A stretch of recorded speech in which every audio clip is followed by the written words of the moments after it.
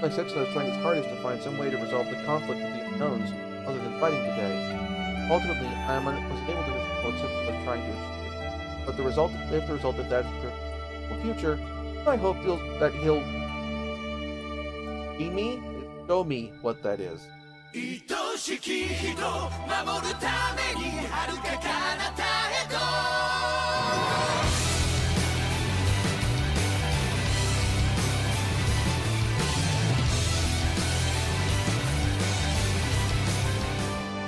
Those assigned already.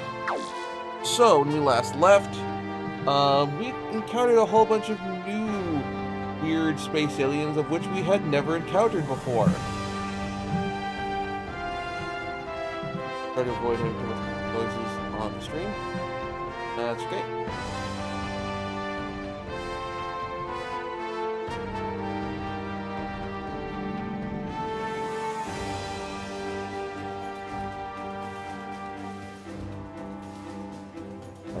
And so we're on to our next mission.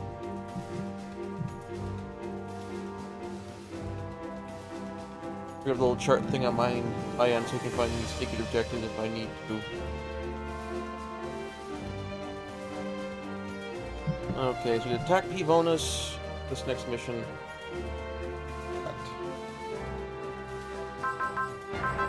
Uh, a little bit extra spare cash, of which to spend. Alright.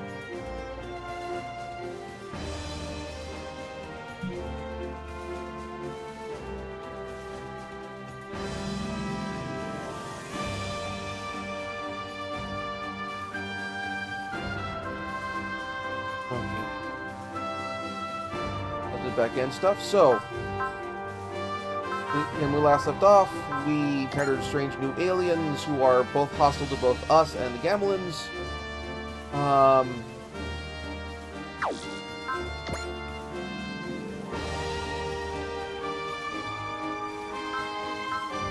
I upgraded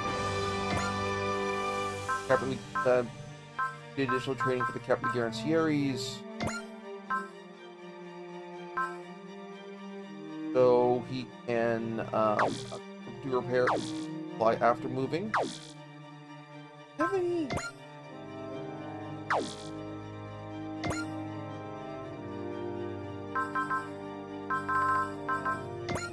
parts with a barrier left.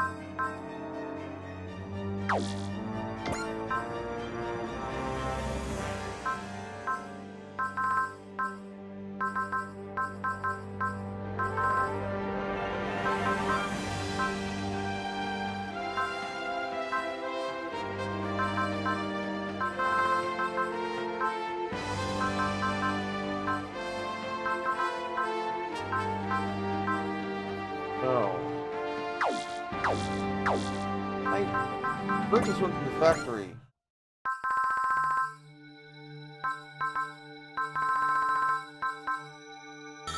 No. Okay.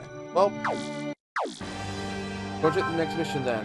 Garancieres is going to have to be kind of vulnerable. Sorry about that.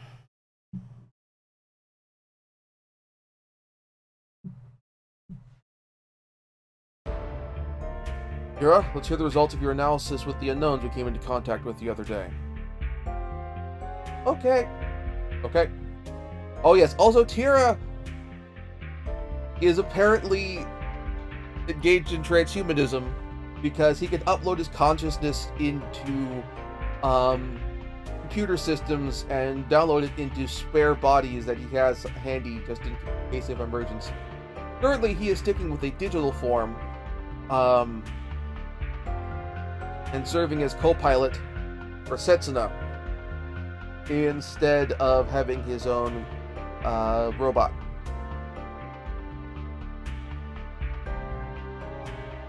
Yeah, that's a thing that happened. I and this is the only real Gundam series where anything like this has ever happened before. That I'm aware of. I haven't seen all of Gundam 00, haven't seen all of Gundam Seed. Gundam NT gets close to this, but not really. I appreciate that we're actually talking about this in the dialogue. That the digitized version of Tieria? It looks like a sparkling fairy or something. He exists in digitized form, he he wants to be and to be able to co-pilot a celestial being mobile suit in the. Already explained about their simulative capabilities, but let's review the facts as we know them thus far.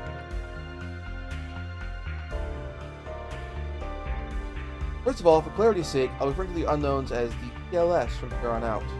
ELS means extraterrestrial living metal shapeshifters. And it's a less clunky acronym than ELMs or ELMSSs.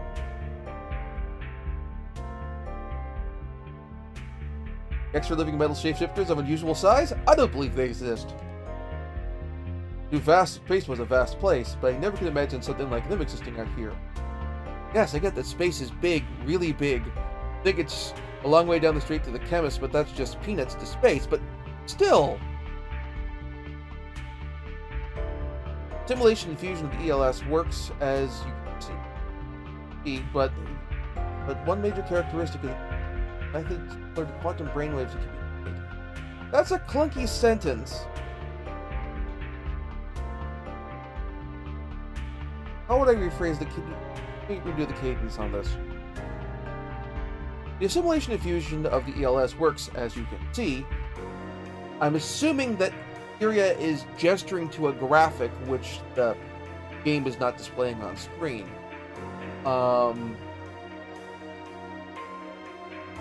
and that explains that chunk of dialogue. Otherwise, this is really clunky.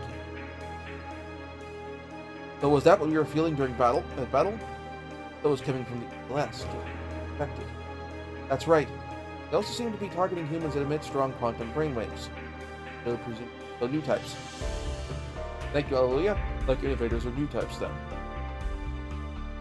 I think it would explain why all the ELS gathered around Setsuna. Is an innovator. Since you brought that up, I want to hear from Setsuna himself about what exactly was he trying he was trying to do out there. Well, I think, Tieria, I think I should speak for myself. Alright then, let's hear it. I was trying to reason with you. Mean you're trying to actually communicate with the ELS?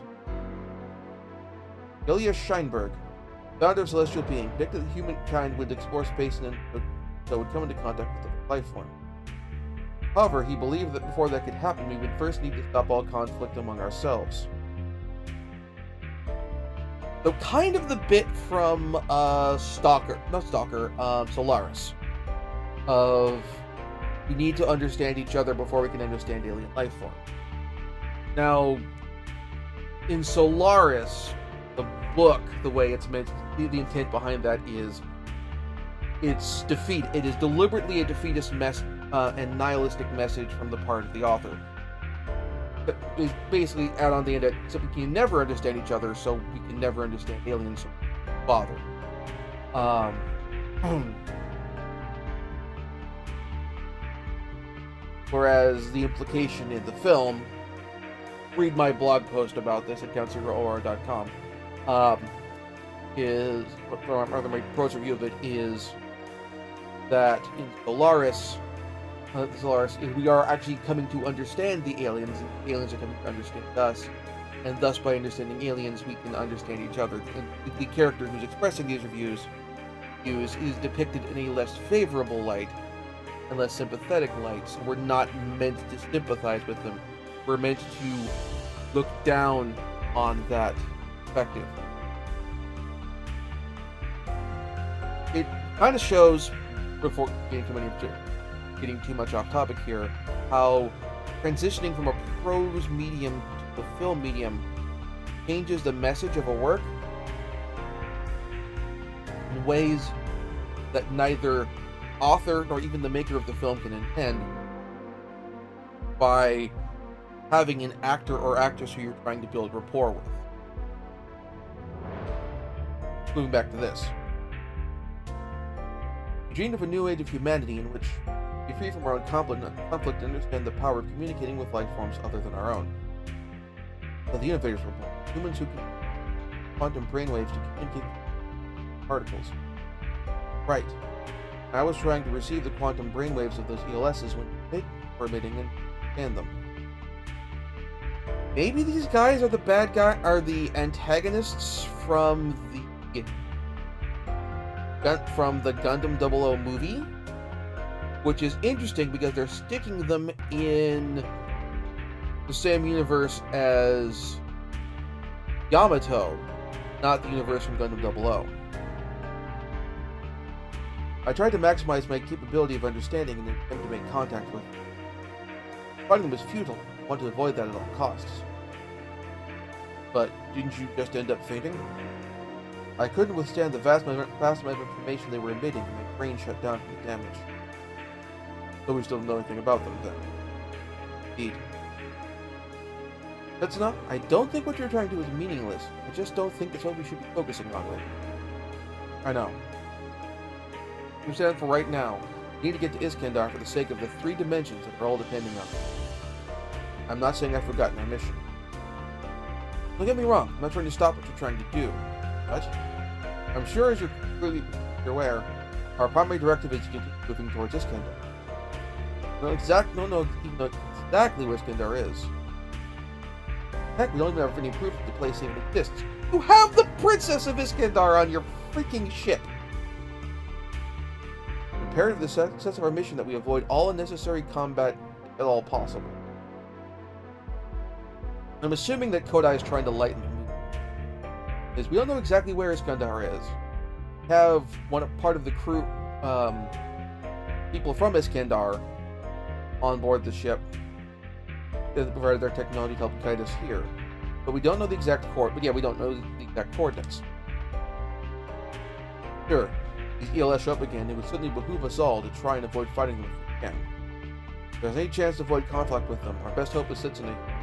He is the only one who has a chance at communicating with. Capacity. Me? That's right. Everyone here understands fully what you were trying to accomplish, Sakura. I'm lighter to lighten his tone a bit because clear that his sprite, if you will, get it? Because they're saying it looks like a fairy, um, a, a glittering fairy. His sprite is now significantly decreased in size. We're all counting on you, Setsuna. I suddenly did feel something like their thoughts back there, but I had no idea what to do or how to respond. I also think Setsuna is our best chance of achieving any kind of communication with them. I'd probably also suspect, actually, Banagher, that you and Peel, as some of the most powerful new types in the party, could also do well. But don't forget, if we are indeed unable to succeed at that, we will have no choice but to fight them. For that reason, your success is vital. So no pressure! That's the plan. However, if you don't succeed in negotiating with them, have to eradicate them with our wave motion gun. You want to have to resort to that? Oh, Yurisha, I didn't know you were there. Answer my question. Well, I, uh, I'll answer the question. I can, I'll answer that question. Well, I can at least tell you what Commander Okita thinks. Listening. The commander does not think of the wave motion gun as a weapon, so he has no plans to use it as a tool war. Wave motion energy is not a weapon. It should not be weaponized. It will be used only for space travel. Basically, kind of taking the tack of their power and nuclear powered vessels. Right. And also, as for you, me, good luck. Thank you. What, what exactly is all this about? Well, she is an envoy from Iskandar who traveled 16,000 light years. Sorry, sorry. Um, 168,000 light years, slight difference, to extend a helping hand to Earth, you know. Gracer seems like the kind of person who'd prefer to avoid conflict rather than invite it. I, I'm simply upholding my duties. I agree with Commander Okita's thoughts on this one. The wave motion engine gun was derived from the wave motion engine. Only be used if necessary to get the Yamato safely to Iskandar. Indeed. Okay, the techno- gun based on the technology that drives the wave motion engine. Not something that someone from Iskandar would have ever thought up. So you were not wrong in keeping with the technology of our wave motion engine after all. Basically, kind of the, the mindset here is Iskandar is a society. That's a long title.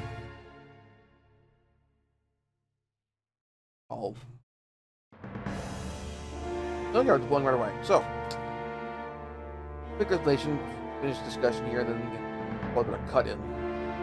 Episode break here. Um, just picking that.